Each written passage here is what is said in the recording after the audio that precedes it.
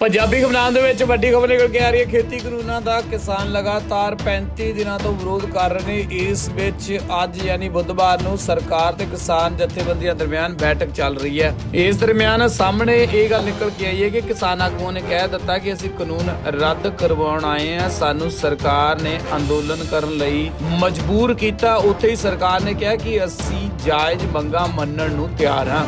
ਦਰਸ਼ਨਯੋਗ ਦੱਸਣਯੋਗ ਇਹ ਵੀ ਹੈ ਕਿ ਕੇਂਦਰ ਸਰਕਾਰ ਵੱਲੋਂ ਵਾਰ-ਵਾਰ ਕਿਹਾ ਜਾ ਚੁੱਕਿਆ ਕਿ ਉਹ ਖੇਤੀ ਕਾਨੂੰਨ ਵਾਪਸ ਨਹੀਂ ਲਵੇਗੀ। ਅਜਿਹੇ ਚ ਕਿਸਾਨਾਂ ਨਾਲ ਗੱਲਬਾਤ ਕਰਕੇ ਉਹਨਾਂ ਦੀਆਂ ਸਮੱਸਿਆ ਦਾ ਹੱਲ ਕਰਨ ਲਈ ਉਹ ਤਿਆਰ ਨੇ। ਬੀਤੇ ਦਿਨ ਕੇਂਦਰੀ ਗ੍ਰਹਿ ਮੰਤਰੀ ਅਮਿਤ ਸ਼ਾਹ ਪੀਯੂਸ਼ ਗੋਇਲ ਦਰਮਿਆਨ ਲੰਬੇ ਸਮੇਂ ਦੌਰਾਨ ਗੱਲਬਾਤ ਹੋਈ, ਜਿਸ ਚ ਕਿਸਾਨਾਂ ਨਾਲ ਮੁਲਾਕਾਤ ਦੀ ਰਣਨੀਤੀ ਬਣਾਈ ਗਈ ਸੀ। ਕਿਸਾਨਾਂ ਵੱਲੋਂ ਸਰਕਾਰ ਨਾਲ ਗੱਲਬਾਤ ਕਰਨ ਤੋਂ ਬਾਅਦ ਇੱਕ ਜਵਾਬ ਭੇਜਿਆ ਗਿਆ ਸੀ, ਜਿਸ ਚ ਕਿਸਾਨਾਂ ਨੇ ਕਿਹਾ ਸੀ ਕਿ ਉਹ ਆਪਣੇ ਨਿਸ਼ਚਿਤ ਚਾਰ ਮੁੱਦਿਆਂ ਤੇ ਚਰਚਾ ਕਰਨਾ ਚਾਹੁੰਦੇ ਨੇ, ਜਿਨ੍ਹਾਂ 'ਚ ਖੇਤੀ ਕਾਨੂੰਨ ਵਾਪਸ ਦੇ ਤਰੀਕੇ ਬਿਜਲੀ ਬਿੱਲ ਨਾਲ ਜੁੜੇ ਕਾਨੂੰਨ ਨੂੰ ਕਾਨੂੰਨ ਦੀ ਵਾਪਸੀ ਐਨਸੀਆਰ 'ਚ ਪ੍ਰਦੂਸ਼ਣ ਨੂੰ ਲੈ ਕੇ ਬਿੱਲ ਤੇ ਚਰਚਾ ਤੇ ਪੱਕੀ ਐਮਐਸਪੀ ਤੇ ਗੱਲ ਕਰਨਗੇ।